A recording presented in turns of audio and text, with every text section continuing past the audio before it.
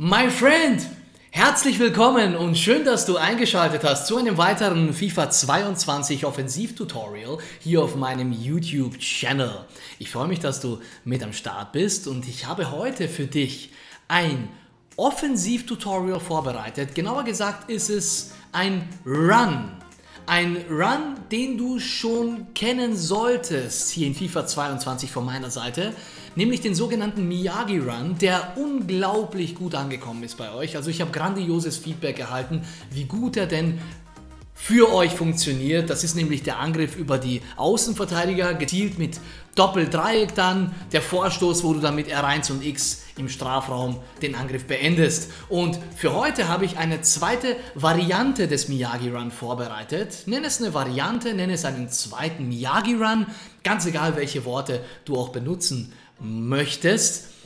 Dieser Miyagi-Run funktioniert mit einem bestimmten Chip, nämlich den Miyagi-Chip. Diesem hohen Ball, zu dem ich auch schon ein Tutorial gemacht habe. Es ist nämlich die Kombination von beiden Sachen. Ich werde dir das Tutorial hier verlinken, falls du das noch nicht gesehen haben solltest. Schau dir das unbedingt mal an. Es geht also um L1 Doppeldreieck, dieser gefährliche Ball. Und ich habe einen Run mit diesem gefährlichen Ball entwickelt, der für mich persönlich übertrieben gut funktioniert und den ich die letzten Weekend Leagues immer und immer wieder verwende, erfolgreich verwende, um viele Tore zu erzielen.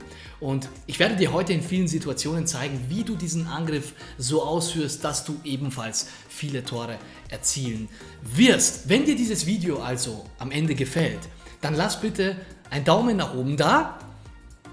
Abonniere meinen Kanal, aktiviere die Glocke für mehr FIFA 22 Videos, Tipps, Tricks und Tutorials. Das hilft mir natürlich auch sehr weiter. Und du findest in der Videobeschreibung einmal meine Social Media Kanäle, den Weg zu meinen Livestreams findest du da auch, wo ich Mittwoch, Donnerstag, Freitag und Sonntag 21 Uhr für dich am Start bin. Du das Ganze live in Action siehst und mir auch direkt Fragen stellen kannst. Aber was du dort auch findest, ist den Weg zu meiner NGU School, wo du tiefgründige Umsetzungstutorials findest die dir bei deiner Entwicklung sehr schnell helfen werden. Und dazu lade ich dich ein, meine NGU-App kostenlos herunterzuladen. Findest du in der Videobeschreibung, funktioniert auf allen Handys und Erstell dir einen kostenlosen Account und komm in meine NGU School. Du wirst hier einen kleinen Ausschnitt davon sehen. Du wirst sehen unten rechts, das Overlay ist auch von NGU School und die Ausschnitte sind auch teilweise aus dem Umsetzungstutorial das bereits bei der NGU School ist. Aber ich möchte dir hier jetzt nochmal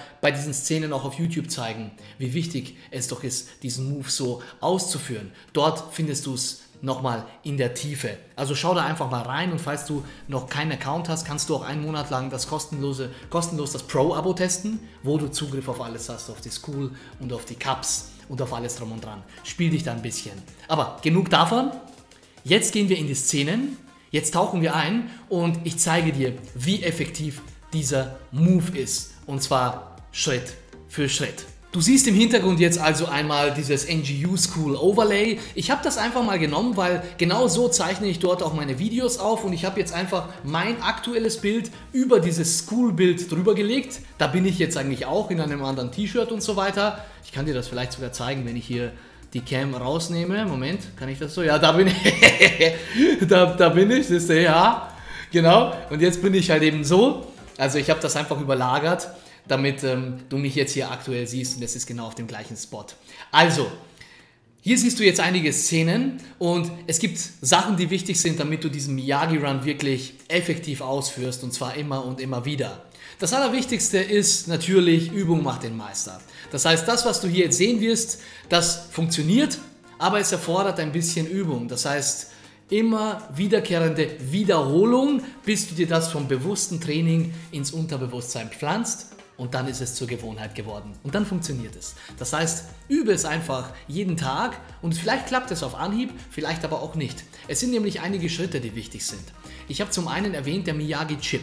Also den musst du dir auf jeden Fall schon mal anschauen, den Miyagi-Chip, damit du weißt, wie du mit L1 Doppeldreieck dann eben diese Pässe spielst. Es ist eigentlich recht simpel. Du drückst die L1 und Doppeldreieck-Taste, also L1 und zweimal ganz leicht Dreieck und dann kommt der Ball eh schon. Aber es gibt einige Sachen, die zu beachten sind, wie du dich ausrichtest mit dem Spieler, damit der Chip dann nicht zu einem anderen Spieler kommt. Aber das siehst du dann in dem Video auch, falls du es noch nicht gesehen hast.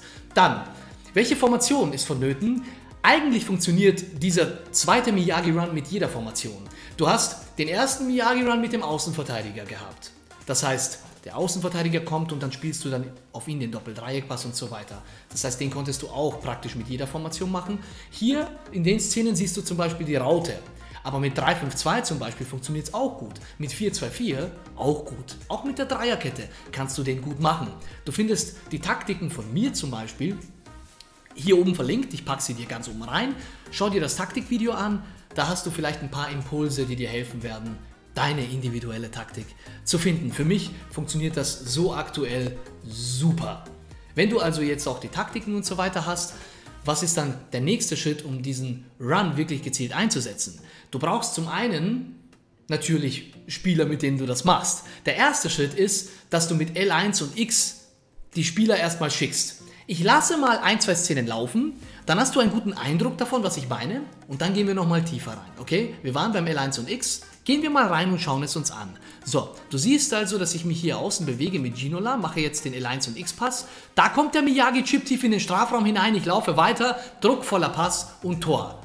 Hat also starke Ähnlichkeit mit dem herkömmlichen Miyagi-Run, wie du siehst. Schau mal hier, Gelsen Martins, L1 und X, er läuft durch, der läuft da, L1 Doppeldreieck in die Tiefe hinein, druckvoller Pass und Tor. Ich lasse noch mal eine dritte Szene laufen, damit du siehst, es ist wirklich immer ähnlich. Schau mal, L1 und X, Ronaldo läuft, ich passe nach außen, L1 Doppeldreieck in die Tiefe rein und der druckvolle Pass und Tor. Lass uns noch eine vierte Szene laufen, das ist ja kein Ding. Schau mal hier auch, L1 und X, also erstmal hier und dann mit Ronaldo, L1 und X, er läuft, wieder L1 Doppeldreieck, der kommt da in die Tiefe und dann bin ich im Strafraum, druckvoller Pass und Tor. Es kommt noch eine fünfte Szene, zu der kommen wir dann gleich, aber gehen wir mal zurück und du siehst, es ist immer das gleiche Muster. Und witzigerweise in dieser Partie, du siehst es hier, das war die gleiche Partie. Weil in der NGU School zeige ich dir ja, wie du in eine Partie reingehst und wie du das in der Umsetzung am besten trainierst, in der Praxis. Und dort machst du das immer und immer wieder. Und du siehst, ich habe es hier viermal in der gleichen Partie geschafft, diesen Move effizient umzusetzen und genau gleich die Tore zu machen. Dort siehst du, so übst du am besten, damit du es so schnell wie möglich dir zur Gewohnheit machst. Hier siehst du die Szenen und dann kannst du dich an die Arbeit machen. Also, du hast gemerkt, L1 und X ist ganz wichtig. Das heißt, wenn du jetzt hier zum Beispiel bist, so, L1 und X ist der Start. Was bedeutet das denn? L1 und X heißt, wenn du diesen Ball jetzt nicht mit X spielst, was ein kurzer Pass ist, sondern L1 und X initiiert dieses L1 automatisch mit dem Passgeber einen Lauf. Der fängt an zu sprinten nach vorne und zeigt so mit der Hand. Du siehst das jetzt gleich. Hier, pass auf. Da siehst du. Sobald er das macht, weißt du, der hat den geschickt.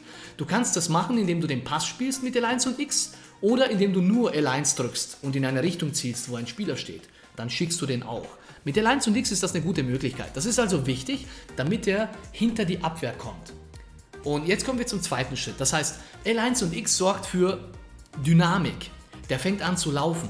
Und die Dynamik beim zweiten Miyagi-Run ist ganz essentiell. Weil ohne die Dynamik werden irgendwann viel zu viele Spieler des Gegners hinten stehen. Und wenn die dann so dicht gestaffelt stehen, kannst du nicht vernünftig drüber chippen, um gefährlich in den Strafraum zu passen, weil da stehen zu viele Spieler. Du siehst hier, wenn der Raum da noch ist, kannst du mit Schwung da reinarbeiten und dann hast du hier den Raum. Aber wenn du zu langsam aufbaust, dauert das. Das heißt, bring Dynamik in dein Spiel hinein. Zieh das Tempo an mit R1 und X-Pässen, beweg dich dann hierher und nutze L1 und X für die dynamischen Läufe in die Tiefe. Okay? Das ist also der erste Schritt ist L1 und X, damit der nach vorne läuft. Und der zweite Schritt ist generell die Dynamik im Spiel aufrecht zu erhalten, damit du eben diesen Run machen kannst. So, der nächste, sagen wir es ist der dritte Schritt, ist, mit welchem Spieler spielst du jetzt ähm, L1 und X, diesen Pass? Wen schickst du in die Tiefe? Bei dem ersten Miyagi-Run war es ja der Außenverteidiger. Ich markiere dir hier, falls du das noch nicht gesehen hast, ich markiere dir auch hier den allerersten Miyagi-Run, der immer noch brutal effektiv ist. Schau dir das Video an. Vielleicht noch ein kurzer, kurzer Exkurs, warum ich auf diesen Run gekommen bin. Doppeldreieck ungefähr in der Zentrale, also wenn du dich hier bewegst, funktioniert leider nicht mehr so gut. Irgendwann haben die das ein bisschen rausgepatcht. Ist mir zumindest aufgefallen. Doppeldreieck funktioniert sehr gut, wenn du außen, indem du den ersten Miyagi-Run machst, so den Pass spielst. Dann klappt der. Aber wenn du in der Zentrale bist, dann kommt er immer so unsicher. Wenn ich ihn jetzt spielen würde, den Doppel-Dreieck-Pass, früher hätte er den hier so korrigiert. Zweimal Dreieck bedeutet, er kommt leicht gechippt und korrigiert, damit der den nicht abfangen kann. Der kommt dann so irgendwie. Aber die klappen nicht mehr. Der kommt immer wieder und wird abgefangen. Deswegen habe ich einfach in letzter Zeit vermehrt L1 Doppeldreieck gespielt. Also eben den Miyagi-Chip. Und der kommt so. Das ist für ihn unmöglich, den zu verteidigen. Und dann bist du halt genauso durch wie Doppeldreieck. Und so kam das dann. Das heißt, mit welchem Spieler den Run starten? Also einerseits kannst du das am Flügel machen, so wie hier mit Ginola in dem Fall, und dann chippst du den so drüber. Das ist eine Möglichkeit. Die andere Möglichkeit, fast sogar noch effektiver, ist, wenn du den mit einem ZM aus der Tiefe machst. Gelsen Martins, ich nenne ihn ja das kleine Monster aus der Tiefe in meinem Squad, weil er so unglaublich schnell und dynamisch ist.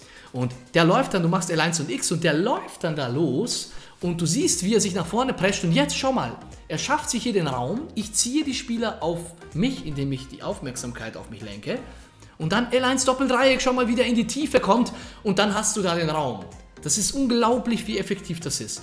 Und das machst du eigentlich viel effektiver noch, wenn du ihn mit einem Mittelfeldspieler machst. Oder du ziehst einen Stürmer nach hinten, so wie ich Ronaldo, und dann kommt er aus der Tiefe gelaufen. Du siehst es hier.